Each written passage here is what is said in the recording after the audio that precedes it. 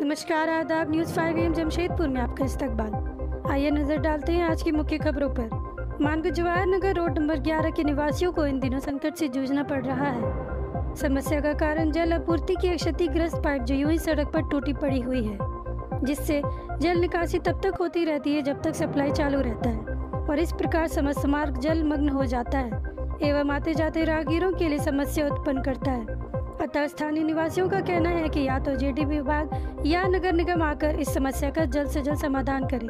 स्थानीय निवासी इनायत हुसैन ने दी जानकारी।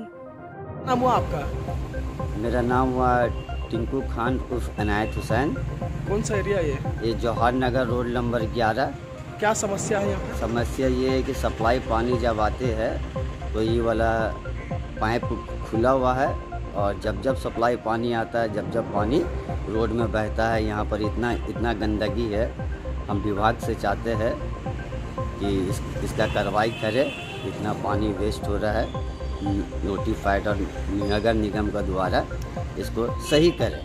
पाइप को बंद करें। पाइप को बंद करें। और जब जब पानी आता है नाली पूरा भर जाता है पानी हम लोग एक एक बूंद बचा रहे हैं यहाँ पानी बह रहा है। कोई लेने वाला नहीं है पानी का पानी विभाग से भी चाहते हैं जी जी जी। पानी विभाग से भी चाहते हैं कि आके इसमें कार्रवाई करे। बंद करें बंद करें है पता नहीं। हाँ किसका है कुछ पता नहीं। कोई माए बाप किसका नहीं है खाली मोटर खोलो। मोटर तो हम लोग का है ही नहीं है? और ये बह रहा है। और ये और ये बह रहा है। और भी समस्या है पीछे